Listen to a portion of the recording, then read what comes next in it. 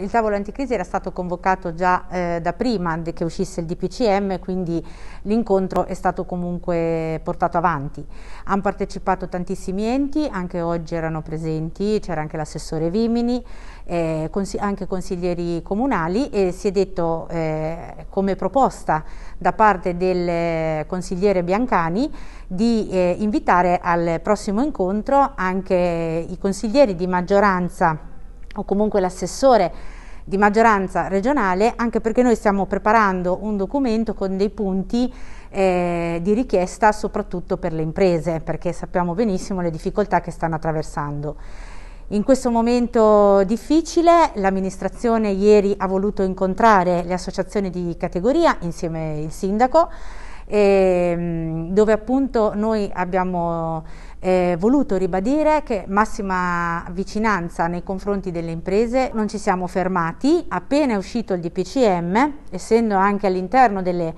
chat ANCI eh, nazionali, Pesaro è stata promotrice, questo grazie anche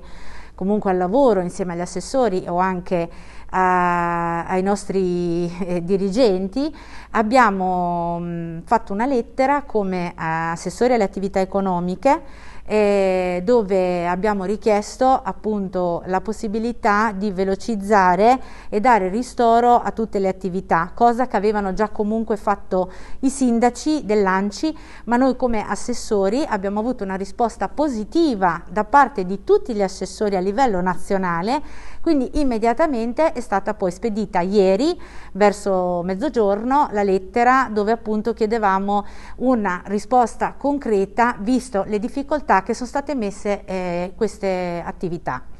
Questa mattina il tavolo anticrisi devo dire che è andato molto bene, eh, l'amministrazione eh, so che incontrerà nei prossimi eh, giorni anche, eh, penso sia domani, incontrerà le associazioni culturali e oggi ci sarà un incontro con le associazioni sportive, come ieri abbiamo fatto con le associazioni di categoria.